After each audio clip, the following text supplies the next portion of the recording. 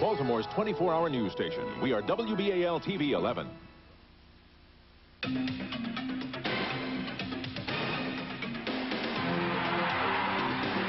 From Television Hill in Baltimore, this is WBAL TV 11 News at 6. Good evening, everyone. I'm Pat Menarson. And I'm Rod Daniels. At first, it was cigarette and alcohol billboards that anchored residents of Baltimore's black community, particularly those in the inner city. Now it seems cigarette makers are using a new and some say a more dangerous strategy to keep their sales up. Matt Harrington found out that passing out free cigarettes by some tobacco distributors is targeting the most vulnerable people.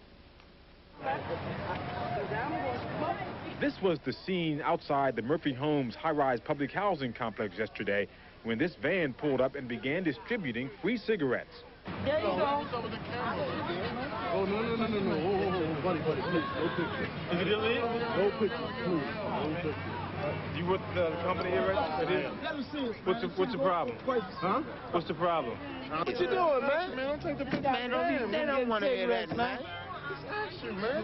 What you do that for, man? See, you didn't do this, man. But once the employees of Lorillard, makers of Newport and other brands, saw our cameras, they stopped giving out the samples.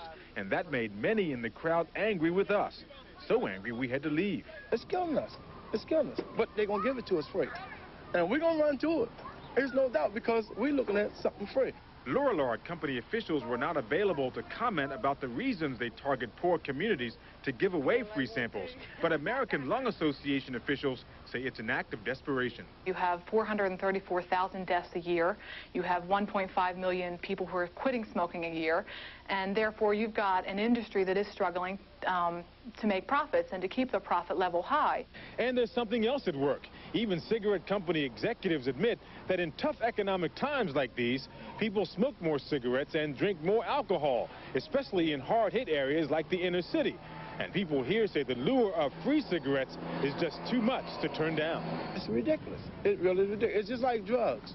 It's just like drugs. It's just like, here, here's some dope, but it's, it's illegal. It's killing us, killing the black people, I guess. I mean, because it's bad for your health.